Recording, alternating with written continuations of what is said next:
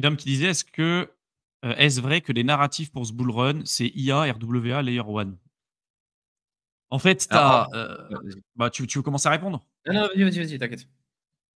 En ce moment, si tu regardes les euh, top performers des coins de cycle 1 sur les nouveaux schémas narratifs, sont ceux principalement de l'IA et RWA principalement qui ont bien marché. Layer 1, non, en fait, euh, le schéma narratif des Layer 1, c'est pas du tout un nouveau schéma narratif. Hein. C'est un ancien schéma narratif, je crois même de cycle 3, euh, avec ce qui s'est passé avec Ethereum et tout le bordel. C'est clairement pas nouveau. Et en plus de ça, si on prend juste le cas de Solana, parce qu'il y en a qui vont dire, regarde, euh, coin de cycle 2, ancien schéma narratif, et Solana a dépassé presque son, son, ATH, où il est à un niveau qui est bien plus élevé que la plupart des autres Layer 1 qu'on connaît sur les cycles précédents. C'est vraiment un cas très, très, très, très, très particulier, Solana. Je ferai d'ailleurs une session très bientôt sur le programme d'accompagnement sur Solana. Mais voilà, c'est un cas vraiment très, très, très, très, très particulier. Et aujourd'hui, les Layer One, euh, pour la grosse majorité d'entre elles, et même y compris pour la principale, hein, euh, euh, Ethereum, hein, ah, est très loin encore de son ATH. Hein, et très loin de son ATH. Donc, oui, l'IA, oui, les RWA. Et après, il y a peut-être aussi des nouveaux schémas narratifs qui vont avoir des super explosions plus tard dans le cycle. Si on prend le cas de la GameFi, Axie Infinity, était extrêmement bas au début de l'année 2021 et il a fait un x 600 entre janvier de 2021 et juin 2021. Le côté GameFi, on l'a su en fait beaucoup plus tard et on ne pouvait pas le déterminer vraiment au préalable parce que ça existait très très peu. Il y avait des prémices, mais en fait peut-être qu'il y aura un schéma narratif qui est autre que celui ou ceux qu'on est en train d'étudier qu'on analyse aujourd'hui et dont on entend énormément parler, comme celui de la Deepine aussi. Hein. Et peut-être qu'il y en aura un autre qui sortira à un moment donné et, et personne s'y attendait. Et justement, il aura des performances super parce que personne s'y attendait aussi.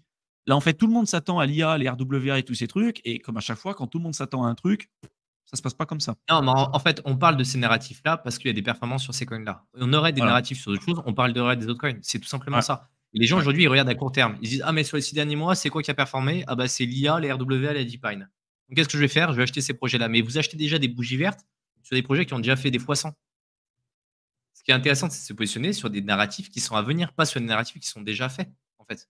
Ça marche pas comme ça. Il y a des narratifs qui reviennent. Un narratif qui est passé comme les Layer 1, il va revenir, sauf qu'il va revenir dans le plus longtemps. Et si vous essayez de chasser chaque narratif à chaque fois en vous disant ah bah, je vais être le premier à investir sur ce narratif-là et je serai le dernier à en sortir une fois que ce sera bien haut, ça marche pas. Vous allez tous les rater en fait. Vous avez juste acheté des bougies vertes sur des bougies vertes. Et finalement, vous allez perdre du capital de plus en plus. Donc, pas d'intérêt de ce côté-là pas si tu vois une autre question. On va prendre une dernière question, les gars. Puis après, on va devoir vous laisser. Euh, j'étais en train de regarder. C'est Mikiti, narratif à venir, les potentiels ZK. Pour moi, il y a l'aspect technologique qui est intéressant, mais ça ne va pas être vendu comme la techno euh, révolutionnaire. L'avantage ah, de, l'IA et autres, c'est que c'est compréhensible par n'importe qui. En fait, ouais, c'est ça. Ça marche ça. auprès du, grand public. Il ne faut pas que ce soit un, narratif technologique. Il faut que ce soit un narratif bullshit.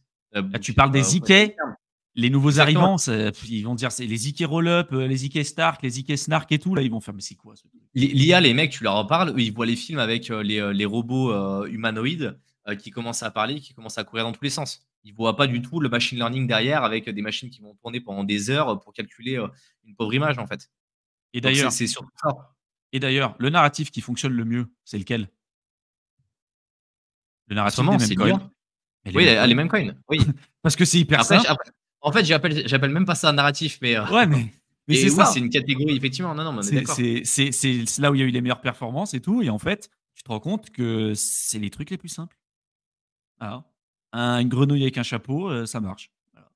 Bah, alors, tu n'as pas besoin d'avoir euh, une connaissance des crypto pour comprendre que c'est une grenouille avec un chapeau. Voilà. C'est l'avantage.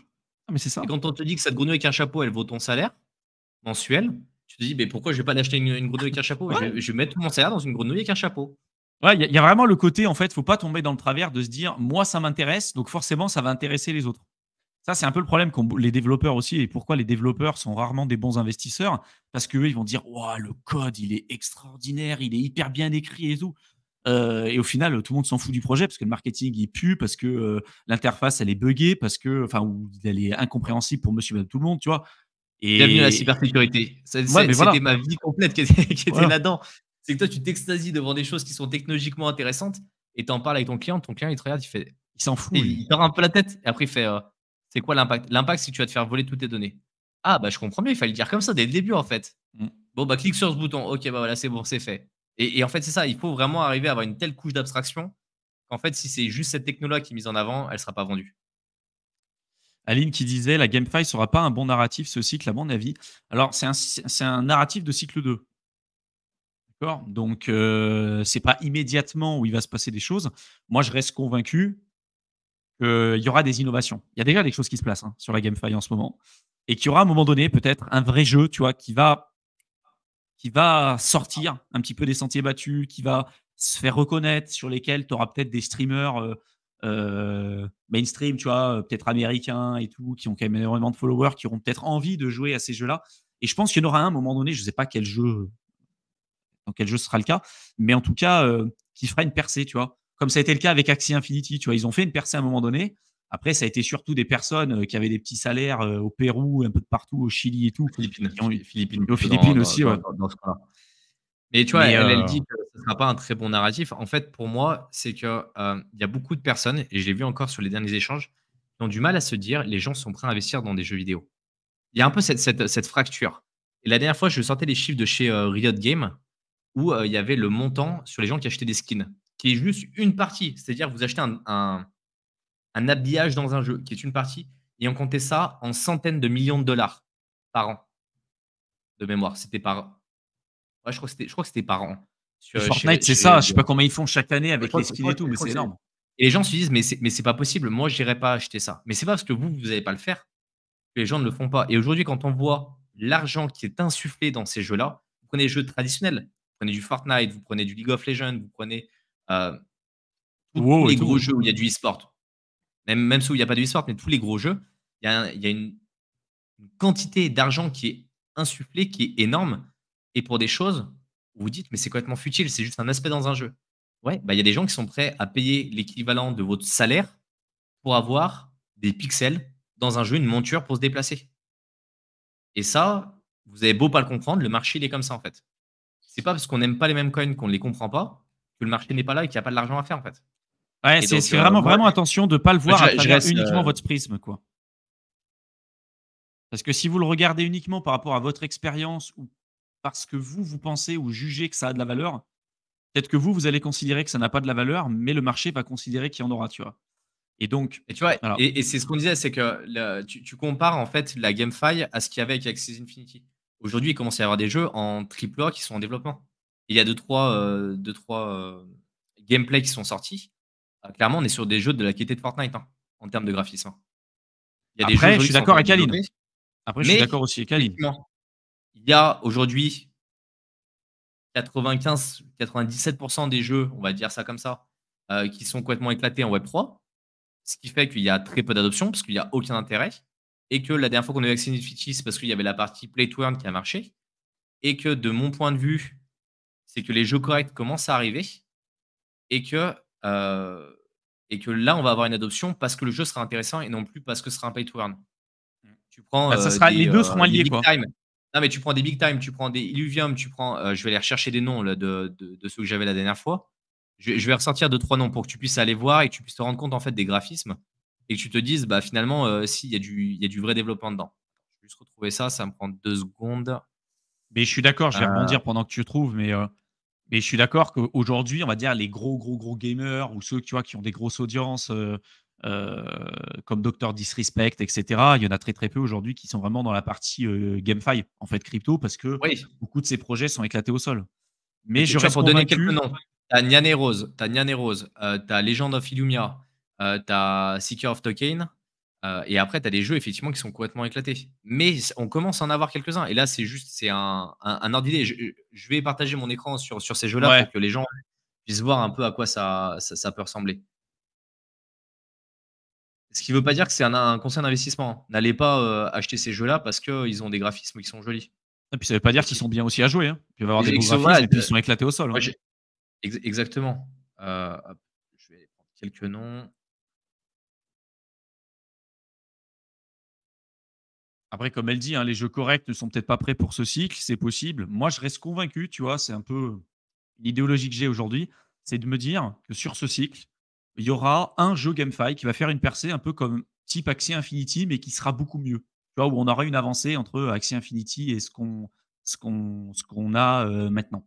Et je pense qu'il y aura une percée, peut-être pas ultra mainstream non plus, tu vois, mais avec quelque chose où on se dit ah punaise, en fait la GameFi, ouais, c'est pas le, le vieux Snake tout pourri qu'on avait sur téléphone, quoi. Tu vois. Mais, c'est ça justement. Attends, mais justement, je vais partager mon écran là. J'ai euh, j'ai récupéré. Hop. Là, pour montrer un peu voilà, le, type de jeu qu'on a. Celui-là, pour moi, c'est pas forcément le mieux fait. Je sais pas si on voit bien mon écran. Si, si, si. Voilà, c'est pas forcément le mieux fait, mais on commence à avoir des graphismes qui sont loin d'être euh, loin d'être dégueux. Il y, a, des choses mieux qui peuvent être faites, mais aujourd'hui, il y a des jeux comme ça qui sortent en, mode traditionnel. Après, euh, il y a celui-ci. Ah, clairement, FPS. Euh, voilà, c'est en mode FPS. Ah, on dirait Overwatch. Ouais, ouais, mais eh ben voilà. Et, quand, tu vois, quand, tu, quand tu donnes des noms, tout de suite, c'est des grosses licences. On parle pas de petites licences, de petits jeux. Euh, bah, Blizzard, quoi. Voilà, c'est du bizarre. Et là, on est clairement sur cette qualité de, de, jeu. Il y a des affinages, il y a encore un peu de travail. Mais on est sur quelque chose qui est jouable, en fait. Où, tu y vas parce que euh, c'est un vrai jeu. Tu y vas pas parce que euh, tu as acheté ton, ton, token dessus. on peut prendre celui-là. Alors, attends. Pas s'il y a des vidéos du gameplay. J'avais trouvé quelques, quelques vidéos. Voilà, en, mode RPG. Euh, là, clairement, les premières versions de, de WoW qui sortaient. Euh, elles n'étaient pas comme ça. Hein. elles n'étaient pas comme ça. Hein. Non, non, mais. Ah, on commence à avoir des trucs qui sont quand même sympathiques. Après, est-ce que ça va prendre ou pas euh, Difficile de dire. Hein. mais. Ouais, pour moi, c'est pas une question de savoir si ça va avoir lieu. En fait, la GameFi, c'est une question de. surtout qu'ils sont déjà sortis. Surtout que là, c'est là les jeux que je vous montre. Euh, sont, sont, déjà sortis. La, plupart sont en alpha ou en bêta. Donc, en fait, euh, ils sont prêts là pour ce Blue Run. Hein. Il y en a qui ont déjà même leur token, ils sont déjà lancés, il y a déjà même des économies, il y a des trucs à faire. Et là, c'est qu'un exemple, il en hein. existe un autre. Hein. Là, je suis pas, euh, bien. je suis pas un, expert, moi, sur, sur la GameFi, mais globalement, ça le fait, il y a de quoi. Pierre qui dit, Lumia a l'air sympa. pas, pas testé, j'ai vu les, les gameplays et autres. Euh, moi, j'avais testé Big Time, mais j'avoue que j'ai pas, j'ai pas trop, j'ai pas trop joué. Mais euh, il y en a plein. C'est toujours un manque de temps en fait. On pourrait le faire, mais Vulcan euh, Forge, fait pas mal de choses. Vulcan Forge de mémoire, c'est, c'est pas un jeu de cartes ça? J'avais vu passer. bah, ils ont fait tout un dex et tout. J'en ai beaucoup parlé aussi dans le programme d'accompagnement. Mais ils ont pour objectif en fait de faire toute une plateforme, un peu sous forme de, une plateforme NFT, un peu comme pour Illuvium, les Luvidex, tu vois. Mais, euh, en gros, ils n'ont pas, de jeu. Aujourd'hui, ils n'ont pas de jeu en ligne. À l'époque, ils n'en avaient pas. À l'époque où je l'avais analysé, ils n'en avaient pas. Après, ils, ont, un euh, launcher. Je vois qu'il y a le launcher. Pour moi, c'était un launcher, en fait. C'était un, DEX sur lequel ils voulaient, en fait, euh, référencer sur leur DEX tous les NFT qui existaient sur l'aspect GameFi. Ça a peut-être changé depuis. Hein. Bah, je sais pas, là, il me parle d'un studio, mais il n'y a pas l'air d'avoir des choses. Et après, moi, ce qui commence à m'intéresser, c'est la. On, parlait tout à l'heure des layers 2 et autres il commence à y avoir de la, de la GameFi sur Bitcoin, doucement, qui commence à arriver. Et ça, justement, moi, c'est des trucs qui me, qui me titillent. Si vous voulez regarder d'un point de vue technologique, il y a des choses euh, hyper intéressantes qui commencent à arriver. Avec justement tous les, tous les développements technologiques qui vont avec. Euh, mais oui, euh, Vulcan Forge, c'est effectivement, ça une communauté plutôt incubation et crowdfunding. C'est la manière dont c'est avancé. Et après, Lounis qui dit, c'est quand même un peu à la traîne par rapport à ce qui se fait aujourd'hui. C'est clair. Non, mais c'est clair. C'est pas un truc où on va dire, ça vaut les jeux qu'on a à l'heure actuelle, il y a des trucs de fou qu'on fait aujourd'hui. Mais tu vois, c'est juste de dire, par rapport à Axie Infinity qu'on avait euh, au cycle précédent, tu vois, il y a des évolutions. Et il y a un monde entre les deux. Tu et prends, non, tu prends à, Descendre et autres où c'était pas amusant, c'était nul. Clairement, si tu ne pouvais pas. Il y a des trucs qui ont, été euh, un peu game, euh, gamifiés qui étaient de la DeFi, mais, mais c'était nul. Et donc aujourd'hui, dire, ouais, il y a encore une marge par rapport aux jeux qui viennent de sortir, oui, en fait, c'est pas le même studio non plus qui bosse derrière. Et quand mmh. demain, on a un gros studio qui va se coller derrière pour développer euh, des, mecs de chez, de chez Microsoft ou un Ubisoft Montréal et autres qui vont se coller sur un des jeux comme ça, ça va piquer. Parce que eux, ils vont avoir la force de frappe, l'expérience et tout ce qui va avec. Là, déjà, quand on voit que c'est des, teams qui sont quasiment inconnus au bataillon, qui arrivent à sortir des jeux qui sont dignes d'être vendus sur des plateformes tradies, euh, je pense que ça fait quand même plaisir déjà. Ouais, en fait, moi j'ai hâte de voir un truc où en mode tu peux jouer, gagner te faire plaisir et vraiment, tu vois, jouer entre potes et tout. Parce qu'en fait, avant, c'était du grind, quoi. Genre, c'était, tu faisais un truc, tu passais des heures devant ton PC à, à faire du tour par tour, genre un peu en mode Dofus. Euh, moi, c'est vrai que j'ai jamais accroché à ça, en fait. Euh, avec des graphismes qui sont souvent éclatés au sol et des jeux globalement qui sont pas amusants. Donc, forcément qu'il n'y a pas de rétention, en fait. Les mecs, ils sont là quand c'est rentable, mais quand ça l'est plus, ils se barrent, quoi. Ce que dit Looney, ce qui dérange, c'est le côté crypto au sein du gameplay. Et c'est pour ça qu'on qu'on le dit les jeux qui marcheront, ceux qui auront un vrai gameplay, et la crypto sera juste une partie en fait de cet écosystème. Ce sera pas, au centre de l'écosystème. Et c'est pour ça qu'on attend beaucoup de ces jeux-là. Il y a déjà, il faut qu'ils soient vraiment intéressants.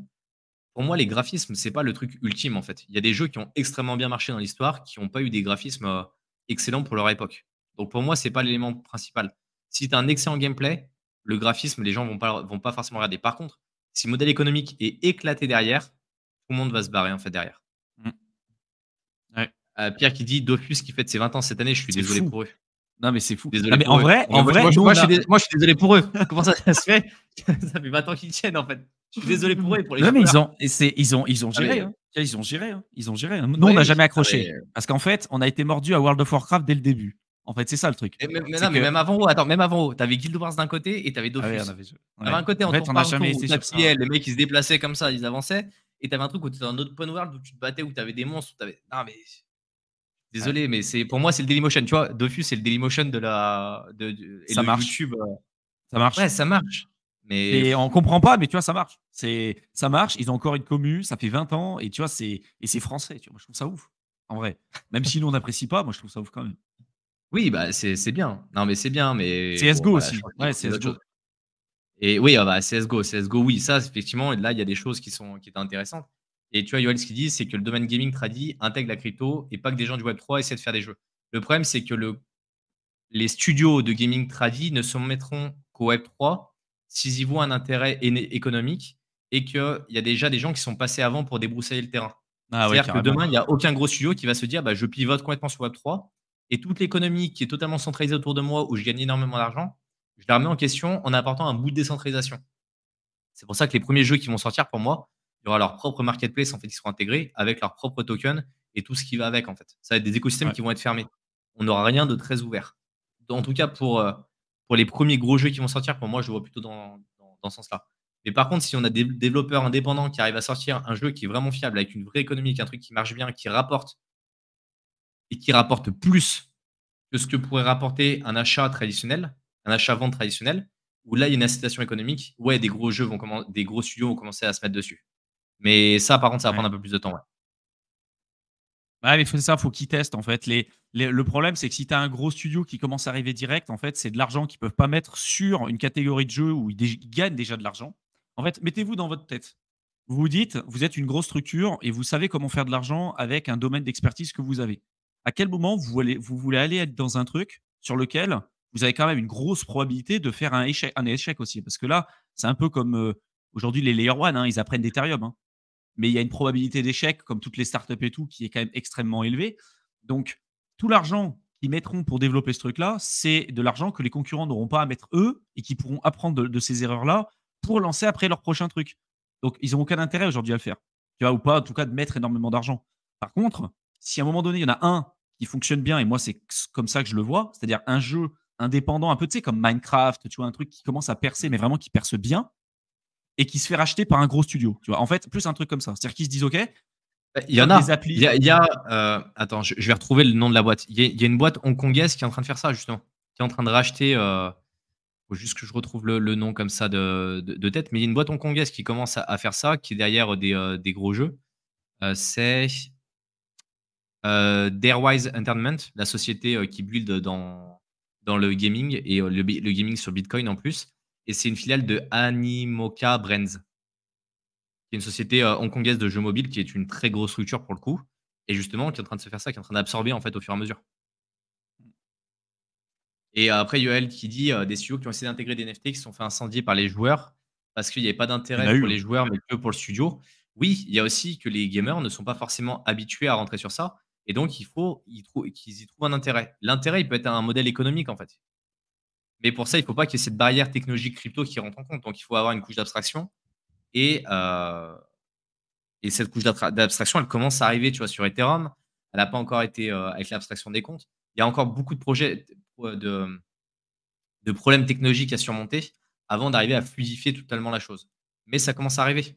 Mais c'est toujours le modèle économique en fait. Tu te rends compte qu'à chaque fois, le modèle économique des jeux GameFi, ils sont éclatés au sol. La plupart d'entre eux, c'est c'est vraiment tout pourri. C'est en mode il y a tout pour les VC, il y a tout pour les fondateurs et rien pour les joueurs. Donc il n'y a pas une incentive ou euh, faut être rentré très tôt. Sinon, même ceux après qui viennent euh, par la suite, ils gagnent rien, ils gagnent des clopinettes. Donc en fait, si tu veux rentrer sur un, play to earn et qu'au final, c'est la personne qui a acheté le jeu, euh, imagine, toi, tu arrives sur WoW, tu as joué à WoW il au tout début et qu'au final, tous ceux qui arrivent après, bah, ils seront, jamais la possibilité d'être entre guillemets plus fort que toi ou d'avoir le même niveau et tout. Bah, au final, tu n'as plus de nouveaux arrivants. En fait, tu dis c'est bon, je joue pas. Tu veux dire qu'il y a eu certaines extensions qui ont complètement fait l'inverse? C'est-à-dire que toi, tu avais euh, hardcore farmé et que la première extension qui sortait, bah le premier boss, le, vert était meilleur que ton épique euh, sur des derniers boss euh, en, bah ils ont toujours fait ça. ils ont toujours fait ça. Ah oui, mais c'est pour ça. Et, et c'est arrivé dans une telle mesure qu'ils sont obligés de revenir sur la partie classique en fait. Il y a un moment, tu peux pas augmenter comme ça à l'infini parce que sinon tu perds tu perds tes joueurs. Et c'est pour ça qu'aujourd'hui, les seuls qui étaient sortis, le modèle derrière n'était pas, était pas bon.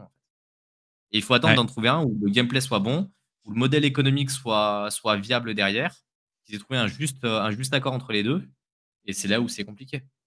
Aujourd'hui, il y a, vraiment avec les joueurs et envie de jouer, tu vois, un truc parce que c'est ça le problème, c'est que tu peux avoir un jeu qui a un intérêt d'être joué à un moment donné, tu vois, ça peut être allez six mois, un an, puis après, tu en as un énième qui va sortir. Et après, tu dis, bah, c'est bon, tu te lasses un peu, puis tu passes sur autre chose. Et c'est ça un peu le problème des jeux qui ont réussi une prouesse, comme on s'est foutu un peu de la gueule de Dofus, tu vois, mais ça reste une prouesse. Hein. Un jeu comme ça, indépendant, français qui plus est en plus, qui a réussi pour une période de 20 ans. À, noter d'une croix rouge. Ouais, qui plus est français et qui a réussi pendant 20 ans à perdurer, c'est hyper dur parce que c'est ultra, ultra, ultra, ultra concurrentiel, tu vois. Et en crypto, c'est encore pire parce que les mecs, ils n'ont pas un intérêt à développer un projet sur 10 ans. Ils font de la thune sur un an, deux ans, le, bear market arrive, ils suppriment le projet, ils en relancent un autre. Et c'est ça un peu le souci, tu vois. Donc, euh, ah, en plus, euh, même tu as les grosses licences, les mecs sont obligés d'innover en fait en permanence. Même euh, les, les, gros jeux, ils ont sorti une version 2, une version 3, une version 4, une version 5. Il y a des versions qui sont complètement éclatées. Tu as des licences où il y a un jeu dans la, dans, la, dans la suite qui est vraiment très bien a bien marché. À partir de là, les studios s'est dit OK, bah, on, va, on va le copier. Et en fait, ça a été foirage sur foirage derrière. Mm. Donc, euh, comme il dit Yoel, hein, si Rockstar faisait le premier pas avec GTA 6, ça pourrait enclencher une dynamique crypto gaming dans l'industrie. Ouais, encore que GTA 6 un jour. GTA 6, il sort un jour parce que depuis le nombre d'années où ils en parlent. Euh, faut, faut qu'il y ait, euh, ouais, du moment en fait, où tu as une grosse licence qui arrive dedans. Ça a débloqué les choses. Ouais. Imagine, tu as un Pokémon, euh, un vrai, vrai, la, vraie licence Pokémon. Tu vois, il y a eu le Pokémon Go qui avait fait énormément parler de lui. Mais imagine le, un truc ultra poussé, euh, réalité virtuelle, euh, crypto, tout ce que tu veux, avec la possibilité d'acheter des parcelles de terre dans le jeu Pokémon. Ah, mais moi, c'est fini, tu ne vois plus. Hein. Moi, je disparais de la Ouais, tu, pareil. déjà, les bornes d'arcade Pokémon en, en, spin-off qu'il y a au Japon, je passais ma vie dessus, j'ai dépensé une une thune phénoménale dans, dans ces bandes d'arcade-là. Euh, voilà, là, en fait, tu vas rechoper des personnes qui sont mordues de cette licence depuis 20 ans. Ouais. Ça serait énorme. C'est la vraie euh, licence, tu vois. Pas... Et puis une tokenomics bien gérée, euh, les Pokémon vraiment sous forme de NFT. Comme les, premiers, comme les premiers jeux, parce que le, jeu Pokémon, la, rupture qu'il a fait par rapport à son marché dans lequel il était, par rapport aux ah, autres jeux de l'époque, où il y avait un gameplay qui était plus ou moins éclaté, avec euh, des, certains éléments que tu es obligé de développer et autres, ils sont avec un packaging qui était juste exceptionnel en fait. Après, ils ont innové, il y a eu des choses, il y a eu des, bonnes choses, des choses qui, ont été moins bonnes. Ils ont essayé de faire des, euh, euh, des, jeux un peu en hors série qui ont un peu moins bien marché. Moi, il y en a que j'ai bien aimé, d'autres moins. Mais voilà, c'est une licence qui est hyper forte en tout cas. Il faut qu'il y ait une licence qui soit hyper forte, qui fasse le, le, le, pas. GTA 6 annoncé en automne 2025 dans le trailer. Ouais, bah, comme les codes communiqués et autres. Ouais, à voir. Voilà. On, on, en reparle en automne 2025 euh, si euh, GTA 6 est sorti. À voir. Tamagotchi Coin pour les anciens. Euh, ouais, mais c'est pareil. Tamagotchi, c'était un peu notre époque. Mais il n'y avait pas le même intérêt. Il n'y avait pas le même engouement, en fait. Ah, c'était bien. ça a été la folie. Tu, tu le faisais évoluer, mais Pokémon, moi, j'en parle avec des, neveux et nièces. Et tu, tu prends même la, nouvelle génération. La nouvelle génération, là, ceux qui. nos enfants, la génération de nos enfants, ils jouent à Pokémon encore. Et ils sont avec des, il y a des Pokémon plus récents, mais ils sont aussi avec les premiers de base, avec les Salamèches, les Carapuce, les Pikachu, euh, les bulles bizarres. Et là, tu regardes, tu te dis, mais c'est trop bien, viens, viens, on va acheter des cartes Pokémon ensemble. Mmh. C'est ça où tu, vois, là, tu sens que la licence, en fait, elle a, elle a perduré, elle a continué d'évoluer et qu'elle attire encore cette nouvelle génération. C'est-à-dire que le gameplay était tellement bon pour l'époque qu'en fait, même la génération de 20 ans après, qui a d'autres gameplays, qui a un écosystème qui est beaucoup plus fourni, se retrouve replongé dedans. Parce que ça a matché, en fait. Il y a un truc qui a, qui a fonctionné. Ouais, puis tu as toutes les, tous les produits dérivés, tu vois, même les cartes, les cartes Pokémon, aujourd'hui, euh, les cartes Draco Feu, les machins, euh, tu peux les. Aujourd'hui, tu en as qui les achètent à 150 000 euros et tout, parce qu'il y a, y, a, y a une certaine rareté aussi. Ah, mais des tournois. Il y, a encore des, il y a encore des tournois et tout qui sont organisés officiellement. Euh, c'est là où tu dis des... Il faut une licence comme ça, en fait. Pour moi, en fait, c'est soit l'adoption, elle se fera avec un studio indépendant qui arrivera à lancer un truc un peu en mode Minecraft, Dofus, tu vois, un truc pas extrêmement ouf au départ, mais au final qui va exploser. Je sais pas pourquoi, mais le truc il va exploser, il va marcher, et après il se fera racheter. Euh, ou alors une licence, une grosse licence qui décide de lancer quelque chose, tu vois. Avec la possibilité que ce soit un gros flop. Hein. René, il a trouvé une très bonne licence. Le problème, c'est que je peux pas l'afficher ta, licence. c'est une licence qui est universelle également. Mais euh, on, parle de vraies licences de jeu. Mais celle-là, c'est sûr qu'elle marche parce que régulièrement, il y a de nouveaux produits qui sortent autour de cette licence-là. Donc, euh, oui, c'est un secteur qui est très porteur également. Il y a eu quelques, quelques coins qui ont été, euh, qui ont été mis dans ce secteur-là au, dernier bull run. Moi, j'attends de les voir revenir parce que c'est obligé. le kemise. Le kemise. entre autres, entre autres. C'est pour ça que j'évite de donner les noms parce qu'en général, c'est assez explicite. sur, ah, il y en avait un, c'était marrant. Il y en avait un, c'était marrant. On peut le dire. On peut le dire. C'était le, le beat couille. c'était un gars. Attends, faut que je retrouve. Attends, les gars, faut vraiment, avant qu'on vous quitte, faut vraiment que je le retrouve ça. Parce que c'est vraiment hyper drôle. Et voilà, il y a en fait, c'est là où quand on voit que les mêmes coins, ils arrivent à atteindre un certain stade, c'est qu'on est plus sur la, la, grenouille, le, chien, le crapaud, ce genre de choses, et qu'on commence à attaquer ce secteur-là, euh, qui est un secteur qui est très porteur financièrement parlant. Il y a des, des, hallucinations qui sortent, et moi, ça me fait quand même beaucoup rigoler. Voilà, et ça, euh, voilà. c'est le produit phare. Pour moi, ça, c'est le produit phare de, de, la hausse. Quand vous voyez ce genre de produit qui commence à arriver sur le marché, si vous n'êtes pas sorti, c'est le moment là de tout lâcher en fait. Ah ouais. Mais quand on avait vu ça avec Théo, c'était fin 2021, mais on était, on était mort de rire. Hein. Apparemment, on était mort de rire. Et il y en aura hein, des trucs comme ça. Hein.